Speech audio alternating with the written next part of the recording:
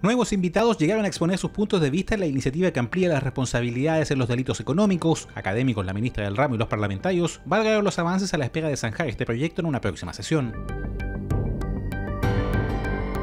La Triple Comisión Unida que tramita la ley de autismo continuó con la votación en particular del texto y proyecta un posible despacho en su siguiente sesión. Entre los aspectos que siguen pendientes están las obligaciones del sistema, la inclusión como discapacidad, así como la potencial adhesión al auge.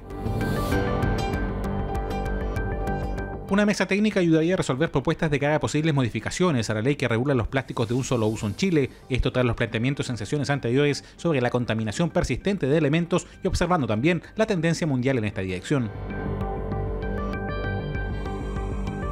Nuevas votaciones del proyecto sobre sanciones contra la delincuencia organizada tuvieron lugar en la Comisión de Seguridad Pública. Entre las indicaciones aprobadas está la captación, grabación y registro de sospechas de hechos graves, aunque la acción de los agentes encubiertos quedó pendiente. Estas y otras informaciones en redes sociales, senado.cl y nuestra programación.